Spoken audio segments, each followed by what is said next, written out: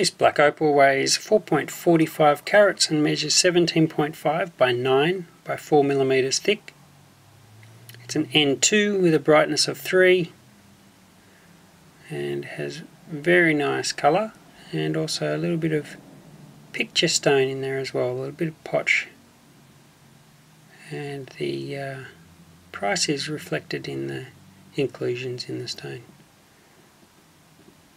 That's character.